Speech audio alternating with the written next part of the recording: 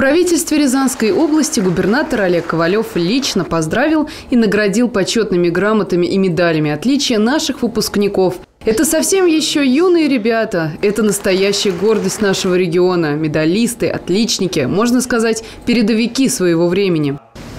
Я искренне надеюсь также, что каждый из вас в будущем состоится как личность, как специалист, преданный своему делу, станет достойным гражданином нашей.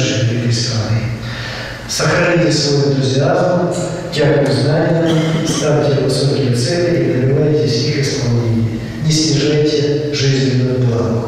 Впереди у них вся жизнь, и пока им кажется, что все самое лучшее уже позади, а в ближайшие годы их ждут лишь трудности, вечно недосып и тяжкий труд – это все неправда. Они умеют и работать, и радоваться жизни. Сегодня у ребят праздник. Нарядные, красивые, полные надежд. Нетерпеливо вертятся они на стульях в ожидании того, что сам глава региона назовет их имена. Это их первые большие успехи, громкие награды. Ну, конечно, очень приятно, очень все торжественно. Много добрых сказано губернатором. Поэтому, конечно, ощущения самые хорошие, самые приятные. Очень здорово.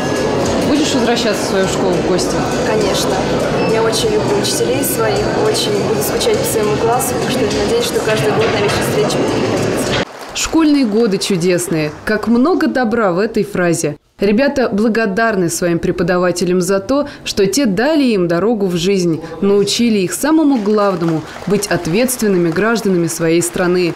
Радует то, что большинство выпускников-медалистов останутся в Рязани и области. Ведь, как говорится, где родился, там и пригодился. А нам такие бриллианты и самим нужны.